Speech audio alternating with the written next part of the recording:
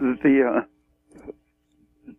standard opinion is that it's a, a genetic thing, Right. either inherited or Mm-hmm. occurring randomly.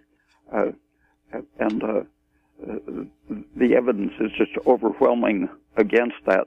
That the genetic uh, problems almost always uh, develop after the cancer is in progress. Uh, the uh, overstimulation and under undersupply of energy to the cell uh, keeps the uh, DNA from being repaired. Uh, so uh, the stress causes the mutation uh, rather than the mutation causing the cancer. Right.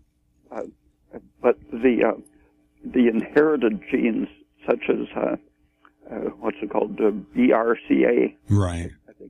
Uh, Yeah, BRCA one and two. yeah, uh, uh, that is simply uh, an indication that the person is is more sensitive to uh, stress and to estrogen toxic effects. Uh, uh, so uh, the anti-estrogen programs are uh, more important, more effective for protecting them.